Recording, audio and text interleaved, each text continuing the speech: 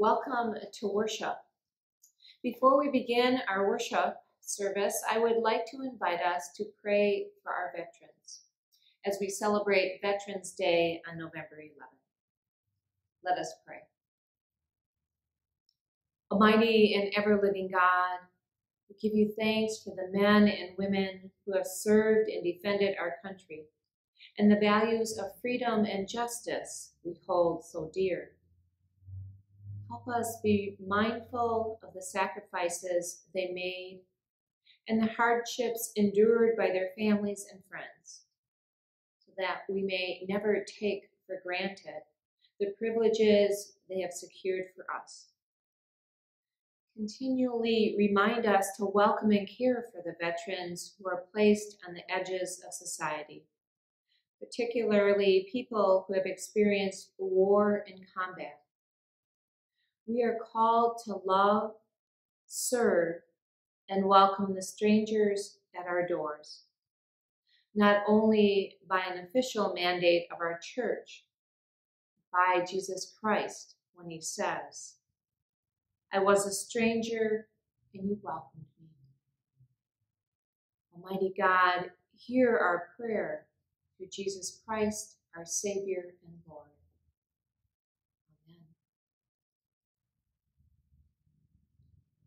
Let us take a moment of silence to prepare ourselves for worship, to center ourselves in God's love and amazing grace.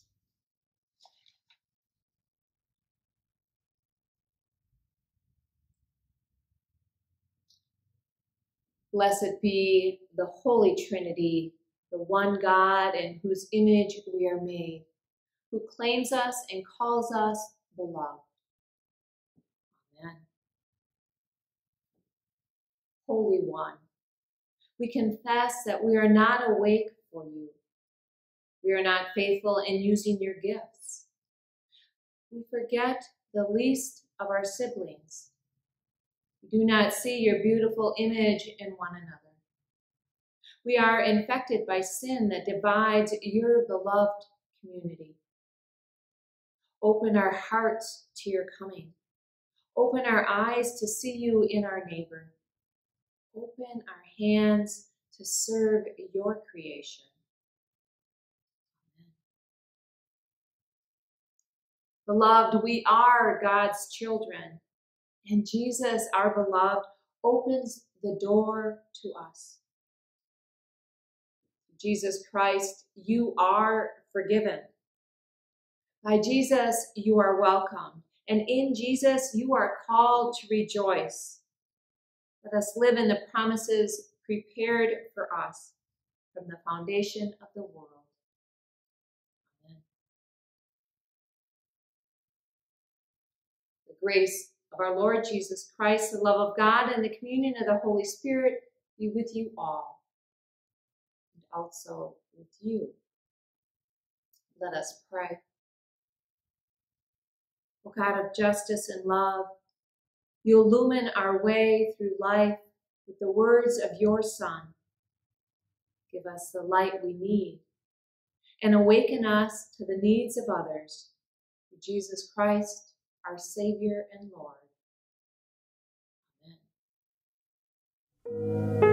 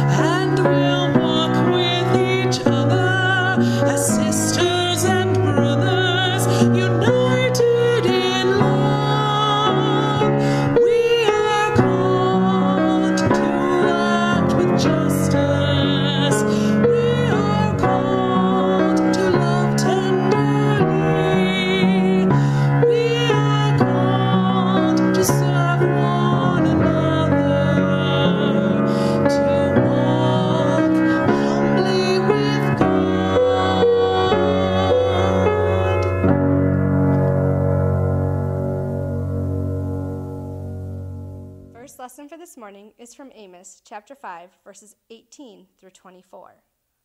Woe to you who is long for the day of the Lord. Why do you long for the day of the Lord? That day will be darkness, not light. It will be as though a man fled from a lion only to meet a bear, as though to as he entered his house and rest his hand on the wall only to have a snake bite him. Will it not the day of the Lord be darkness, not light? Pitch dark, without a ray of brightness. I hate, I despise your religious festivals. Your assemblies are a stench to me. Even though you bring me burnt offerings and grain offerings, I will not accept them. Though you have a choice fellowship offerings, I will have no regard for them. Away with the noise of your songs. I will not listen to the music of your harps. But let justice roll on like a river, righteousness like a never failing stream. The word of the Lord. Thanks be to God. The psalm for today is Psalm 70. Hasten, O God, to save me. Come quickly, Lord, to help me. May those who want to take my life be put to shame and confusion. May all who desire my ruin be turned back in disgrace. May those who say to me, Aha, aha, turn back because of their shame. But may all who seek you rejoice and be glad in you. May those who long for your savings help always say, The Lord is great. But as for me, I am poor and needy. Come quickly to me, O God. You are my help and my deliverer. Lord, do not delay. The second lesson for this morning is from 1 Thessalonians chapter 4 verses 13 through 18. Brothers and sisters, we do not want to be un, to be uniformed about those who sleep in death, so that you do not grieve like the rest of mankind who have no hope. For we believe that Jesus died and rose again, and so we believe that God will bring Jesus those who have fallen asleep with him. According to the Lord's word, we tell that we are still alive. Who are left until the coming of the Lord will certainly not precede those who have fallen asleep. For the Lord himself will come down from heaven with a loud command, with the voice of an archangel, and with the trumpet call of God.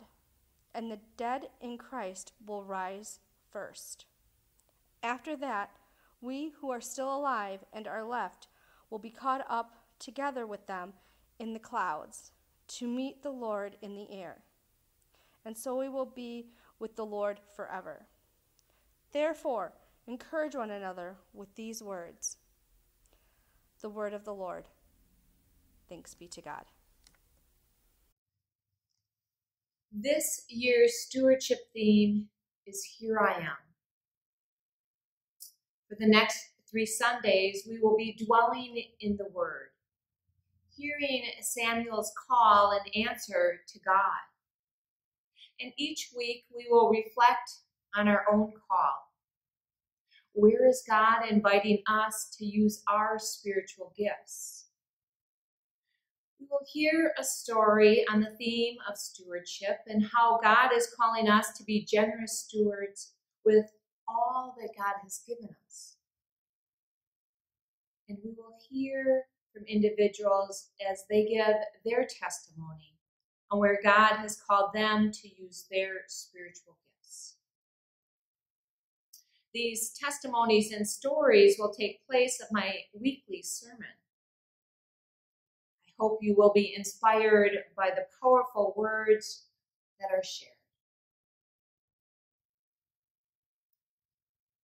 A reading from 1 Samuel chapter 3 verses 1 through 12. Now the boy Samuel was ministering to the Lord under Eli. The word of the Lord was rare in those days. Visions were not widespread. At that time, Eli, whose eyesight had begun to grow dim so that he could not see, was lying down in his room.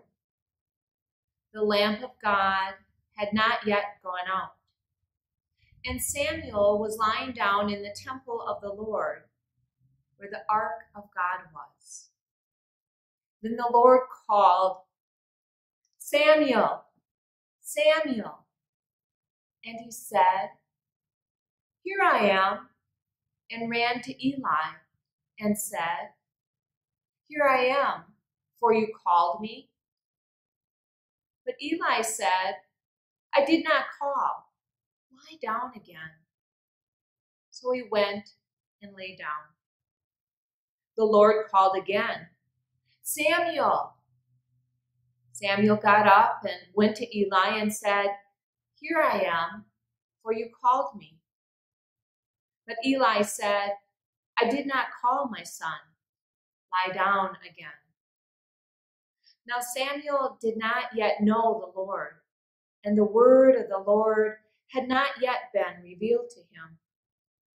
The Lord called Samuel again, a third time. And he got up and went to Eli and said, Here I am, for you called me. Then Eli perceived that the Lord was calling the boy. Therefore, Eli said to Samuel, Go lie down, and if he calls you, you shall say, Speak, Lord, for your servant is listening. So Samuel went and lay down in his place. Now the Lord came and stood there, calling as before, Samuel, Samuel. And Samuel said, Speak, for your servant is listening.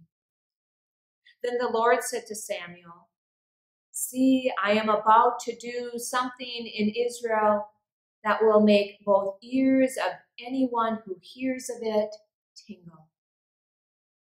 On that day, I will fulfill against Eli all that I have spoken concerning this house from beginning to end. The word of the Lord. Thanks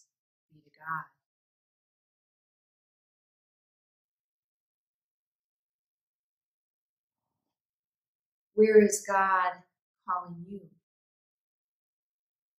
And will you respond? Here I am. Send me.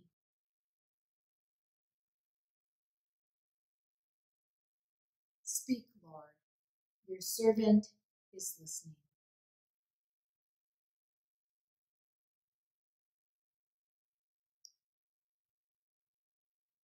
Reflection on stewardship. The garden. There once was a woman who longed to have a flower garden. Each year she would visit her neighbor, had the most beautiful garden she had ever seen, and he would give her cuttings and seeds for her own garden. But when she would return home, she would change her mind at the last minute, saying, But my neighbor's garden is so much lovelier than anything I could hope to grow. And he knows so much more about gardening. I could never hope to grow a garden half so lovely as that. Why should I even try? One day her neighbor stopped by her home and saw that she had not one flower growing anywhere around her house. I provided you with so much, he said, and yet you have done nothing at all with what I have given you. And so it is with each of us. The Lord gives us talents and expects us to develop them. We cannot judge our worth by comparing ourselves to others, but must bloom and grow the best we can with what we have been given. May each new day that dawns for you be an opportunity to use the gifts that God has given to be the best that you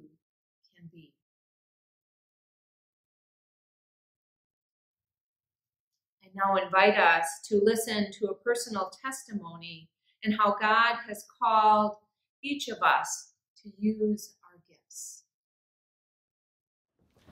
One of my father's legacies is my involvement in Immanuel. When he moved in with me in 2012, he asked that I find him a church at which to worship weekly. He needed a driver too, so we began attending Immanuel together. Much to my surprise, this reconnection to church after a 50 year lapse satisfied a spiritual need I didn't even know I had.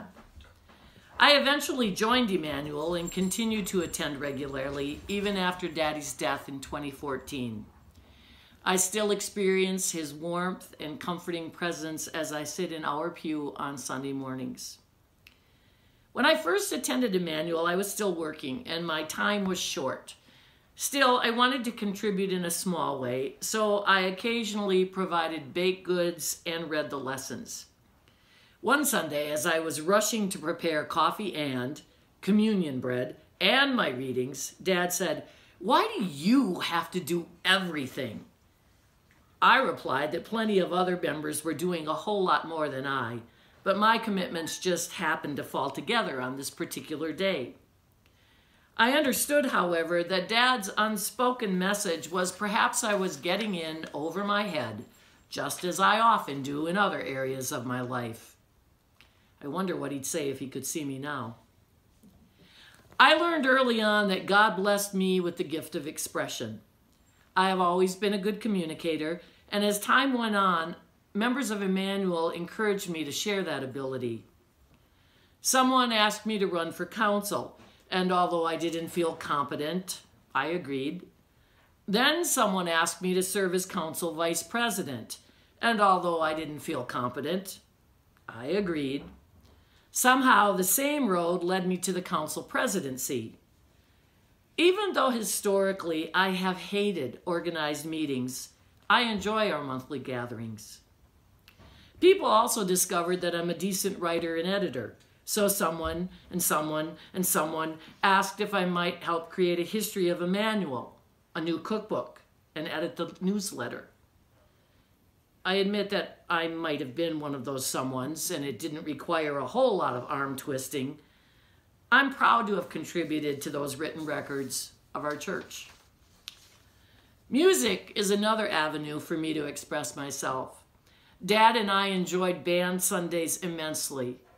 And I used to wonder how those talented musicians would feel about the invasion of an accordion amateur. The year after Dad died, I finally got up the nerve to ask Dave Kroll. And after my first night at practice, he turned to the others and said, Well, I think we're adding an accordion to the band. Everybody agree? Now that must have made my dad smile. About the same time, one morning after service, Priscilla Johnson said, You have a good voice. Why aren't you in the choir? They need you. And just like that, I was trying to learn how to sing in a group. I quickly moved from the soprano and alto sections of women to the back row of men, and Kevin Kirby has been patiently teaching me how to be a tenor ever since.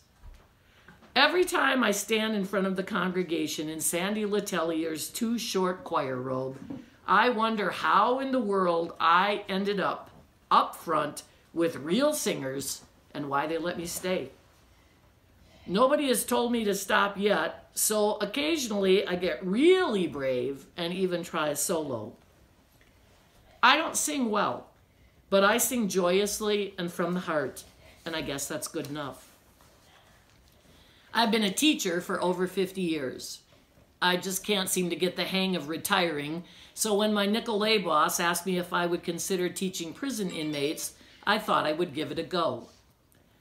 After my Oneida County Jail orientation, I told her I was the wrong person for the job, that I couldn't treat students in the impersonal, distant way the jail expected. That's why I want you, she countered. Your approach is what inmates need. So once again, I thought I could at least try. Three years later, I feel I have arrived at a place that God has been leading me to my entire life. The work brings me both laughter and sorrow, and I am blessed to have this opportunity to give and take. There is much that I don't do well. Technology, diplomacy, mindfulness, and prayer are all areas where I fall short, and I'm working to improve. It will probably take the rest of my life.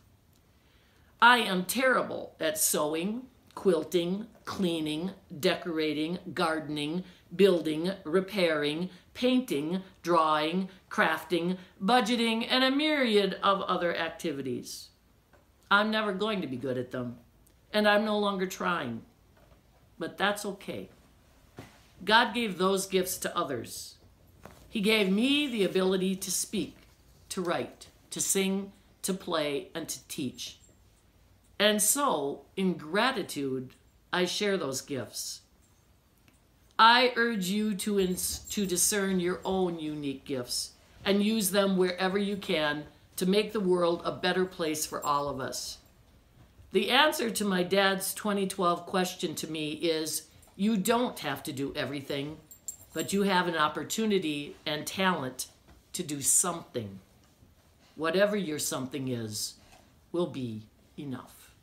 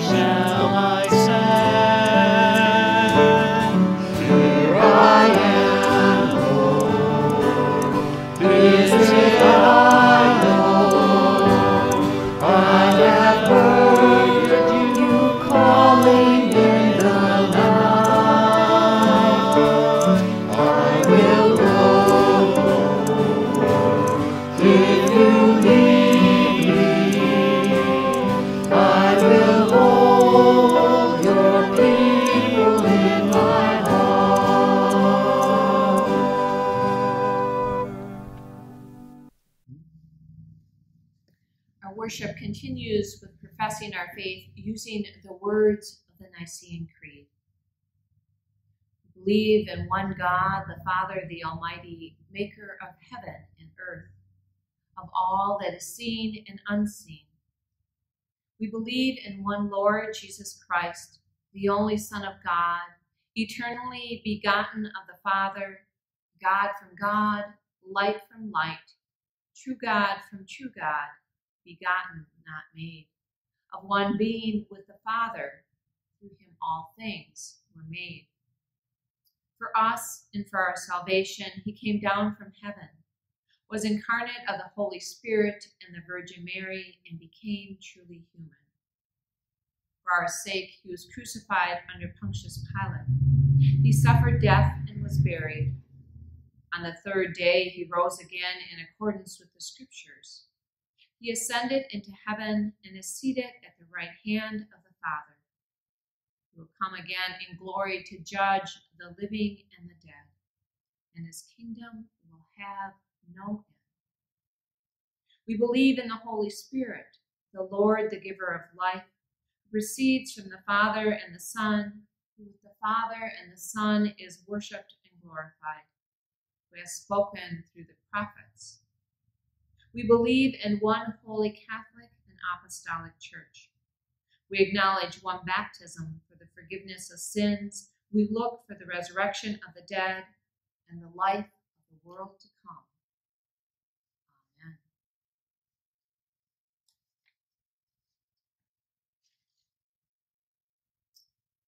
Longing for Christ's reign to come among us, we pray for the outpouring of God's power on the church, the world, and all in need.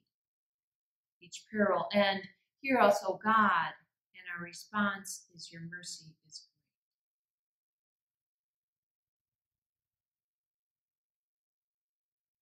great. Holy God, rouse us to deep praise as we gather for worship. Enliven our worship with sincere and heartfelt song and reflections on stewardship. Sustain the work of all church musicians, readers, and volunteers who lead us in praise and prayer. Hear us, O God. Your mercy is great. Holy Creator, surprise and delight us with the beauty of the world you have made. Bless the work of landscapers, architects, and artists whose work invites us into harmonious living with your creation. Hear us, O God. Your mercy is great. Holy Judge, let justice roll down like waters over this world. Reign over the courtrooms of every land, in the hearts of those who guard the law and those who stand accused of crimes. Be present in cases where we long for both justice and mercy to prevail. Hear us, O God. Mercy is great. Holy Companion, console those who feel lonely or abandoned. Share the hours of those who live and eat alone. Comfort those who have few friends or who struggle with their identity and place in this world. Hear us, O God. Your mercy is great. Holy Protector, be with all observing Veterans Day. Guard the lives of active duty and retired military personnel.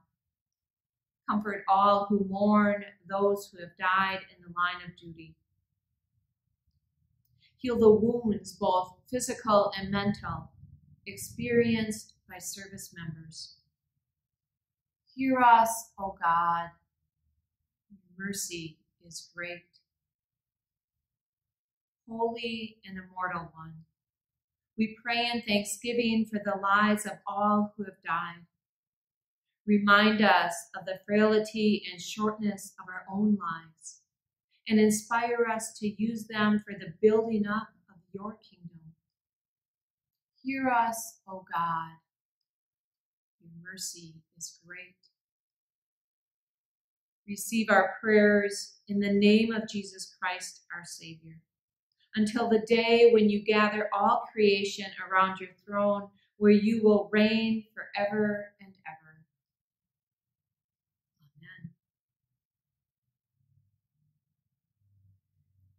The peace of our Lord Jesus Christ be with you always, and also with you.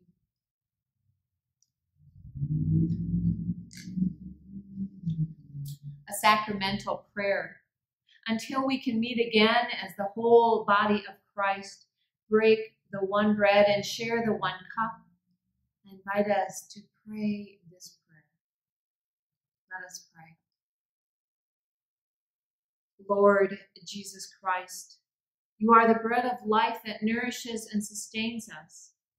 Since we cannot gather to share the bread and the cup, dwell in our hearts and reveal to us again that we are the body of Christ in our vulnerable flesh through our baptism into your death and resurrection and in service to the world you love. Be for us manna in the wilderness. Open our eyes to see you present in every meal and in all who hunger for bread, the human touch, for justice, for love, and for healing and hope. We pray in your holy name, our healer and our companion. Amen. Gathered into one by the Holy Spirit, let us pray as Jesus taught us. Our Father, who art in heaven, hallowed be thy name. Thy kingdom come, thy will be done on earth as it is in heaven. Give us this day our daily bread, and forgive us our trespasses, as we forgive those who trespass against us.